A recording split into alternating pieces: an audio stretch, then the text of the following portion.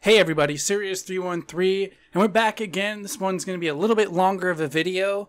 It's something that you guys have wanted and asked for. Uh, we are finally getting around to uh, add-ons. We're going to be, I'm going to show you how to add on vehicles uh, in slots. This is by Ravali, it's the police and EMS vehicle add-ons. He has 284 vehicles that you could possibly add in here. So just going to show you a few things down here in his uh, site. If you were wondering what vehicles work, you can go down here and look and he has them um, set up. So if you want to see what CVPI would work for me in here, you can see all the different CVPIs that he has support for. So without a further ado, we are going to go ahead and get into this. Go ahead and download that. Um, the link will be in the description. Also, follow along with the Chevy Tahoe. I'm doing a 2015 LSSD by Captain 14. Now, the reason why I picked this particular Tahoe is because of the light bar. There's multiple options. So it comes with a Federal Signal uh, Valor. It comes with a Whelen Liberty, Liberty a uh, Signal Arjent, and just a bunch of awesome stuff. He makes great models. So I'm going to show you how to add on this vehicle so for those of you that don't know, there is a difference between a replacement when you're actually replacing different files from when you are actually adding on and making a police slot. So we're going to open up OpenIV real quick just to get that ready. And we are going to go into the copy folder. I'm going to copy police EMS. The mod itself, just move this over here, into the vehicle install folder. And we'll go ahead and extract this mod. So it does take a little bit extra time, as you will see when I open it. Uh, you'll understand why there's a lot of files in here. So uh, basically what it gives you is by author, by vehicle, game configuration file. You don't have to worry about any of this. Um, basically, I'll show you this. So by author, you can look and see all the different vehicles. So if we wanted to see what BxBugs has support for, it's right there. If we want to see uh, the vehicle, just by vehicle, like we're looking for Tahoe, like we are, you're just going to go right here, 2015, and you're going to pick the LSSD by Captain, which is what we are doing. So just grab all of this, copy, and we're just going to go ahead and make another folder called Tahoe. So we'll make a Tahoe folder, which is where we're going to extract the actual Tahoe in. So we got the README and the car variation ready. So let's go back into our copy and we'll just get the vehicle itself. Just copy it, paste it over here. This is just business as usual. 7-zip and extract. So now that we have all of what we need here, we can go ahead and let's I mess myself up. There we go. I'm going to get rid of this readme because we don't need that. So all we need is what came with um what came with the other files. Okay. So now you should have your Tahoe files and your new README. So we're going to go ahead, open up this README and see what it says. Um, you can download the vehicle from right here. He always gives you a link. Great. This is the vehicle name. Rename three to four vehicle files Tahoe 15. Very important. So that's our first step. So we're going to go right here into the Sheriff uh, 2 slot and name this Tahoe 15. Remember, we're not putting this in Sheriff 2. They're not replacing anything, so they need to be renamed differently. Tahoe 15. This is going to be its own slot that with that with Simple Trainer you can go ahead and bring it up. So all the files are named Tahoe 15 just like it asked. Now I'm going to stop you right here because it says we go to patch day and it gives us all the information. Um, what I'm going to tell you is don't follow this because we have a different way, a more simpler way of doing this. And shout out to Runt from Runt's Gaming. Uh, he showed me how to do this. It's his way that he um, does, and it keeps everything in the same patch day. So all you do is go over here to your OpenIV, update, X64, DLC packs, and patch day 9NG. Go ahead and go X64, levels, GTA 5, vehicle RPF, and we want to edit this so it goes into the mods folder. So copy it. Now it shows we are in the mods folder just like we want to be. We'll stretch this out just a little more. Uh, and we'll grab our Tahoe 3 right here. Go ahead and pull that over. And now it's in. So let's go ahead and take a look at the YFT, see if the 3D model is indeed there. And it is. We're not going to zoom in because that takes forever. I'm sorry about that. I don't know why that happens. Alright, so what's nice about this particular way that Runt does this is if everything is in patch day 9, you know where to go if you need to change a um, skin. You just go right here to the YTD and you go to edit. And this brings up the texture library where you'll be able to change out the skin, the lights, um, anything like that. So we'll just go ahead and X out of there. So now that we have it in here, we need to go for our second step in the README, and that is going to be the car variations. Each car variation has a change in it that you need to pay attention to, so I'm going to show you that. So we have car variation, and remember, he gives a different one. I want you to do the one that I'm doing because it works for all of them. So you're just going to go back to GTA, don't be in the mods folder, go to update, X64, DLC, and look for Valentine's 2. This is what you want. DLC, and we'll go common, data, and right about here is where you want to go ahead, because there's our car variation. We want to copy this to the mods folder. Now, very important, before you get going on this, you need to uh, work with precision because one of the one one mess up here can ruin your whole game with each one of these. So car variation, this is what we're working with. We're going to take a copy of that and move it to our original metas folder. That way we have it in here if we need to go back. We can put that back in and it fixes the game.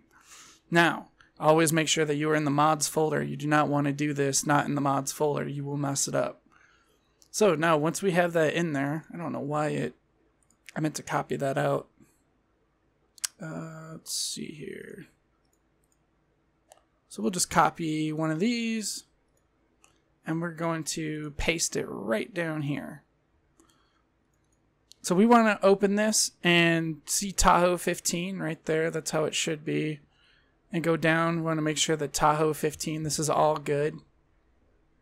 So hit Control A, Control C, which copies, and just X out of that. And we can delete that one.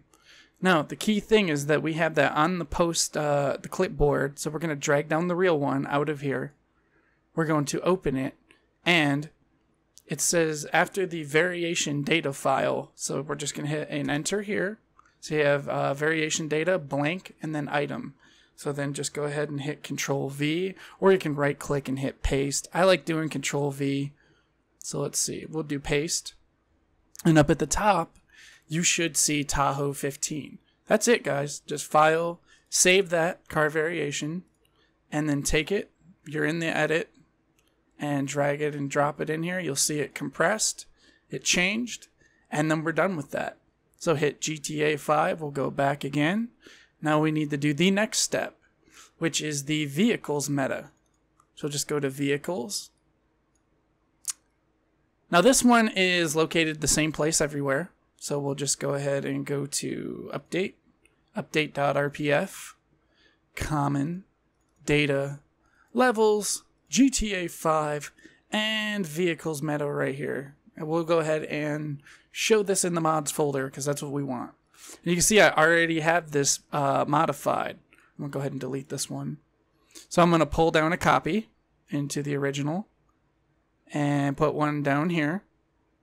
Now, the reason why this is already modified is because of the last uh, vehicle I did with BxBugs' CVPI. If you had that vehicle in there, if yours says compressed, you need to pull it out and actually work from it. Do not put the actual vehicles meta that's that's in here into here. It won't do anything. It will just delete out all your your vehicles. So we open up the vehicles. We're gonna open up the vehicles right here and we could see everything's Tahoe 15, handling line, everything's good. So what we want to do is Control A, Control C.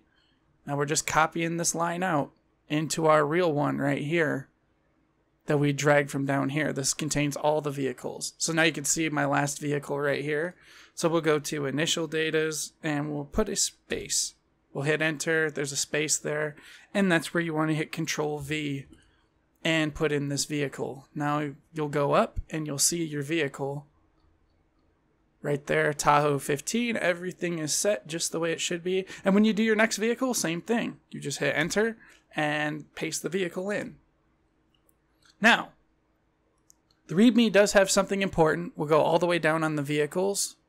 If we look at the README, the one thing we are going to follow is at the bottom here, uh, above text relationships, it gives you this. This is the interior code for the vehicle.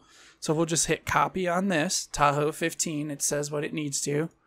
And we'll go right over here and it said above text relationships. All I did was scroll down the vehicle meta to text relationship, put a space in, and hit Control V. And now we'll just move over an item. I don't know if you need to do this, but I'm going to do it because I like it to look flush with everything else. So now we just hit File, Save, and we got it. So now we have edited the vehicle and the car variation and the vehicle, and that's really all that you need to do for this vehicle. And remember, we got to make sure that this is the one and then we need to drag it into here and we'll see the numbers change. See the numbers just change? We'll get out of edit mode. We'll go back. We'll go, don't want to, I want to go back one more. There we go, visual settings. And I want to do something really quick if I have it available. Don't think I do. There it is. This is a radiance setting that I want to set in. Just real quick, your radiance, if you're using it, you just hit edit, show in mods folder, and right here, I can pop that in. Alright guys, let's go ahead and close this out. I'm going to start up the game and I'm going to show you how to pull up this vehicle. Alright guys, here we go. Uh, what we're going to do first to get our add-on vehicles, you have to open up your simple trainer you're going to go to vehicle spawning and you're going to go down to the bottom where it says spawn vehicle by vehicle uh, model name. Now all you want to do is it's very important that you remember your vehicle and what it was named. If you try to bring it up by anything else, it will not work. So we know that all of our files were named Tahoe 15 and the game associates that model with the Tahoe 2015. We hit enter and there is our vehicle we have the 2015 Tahoe by Captain 14. Very nice.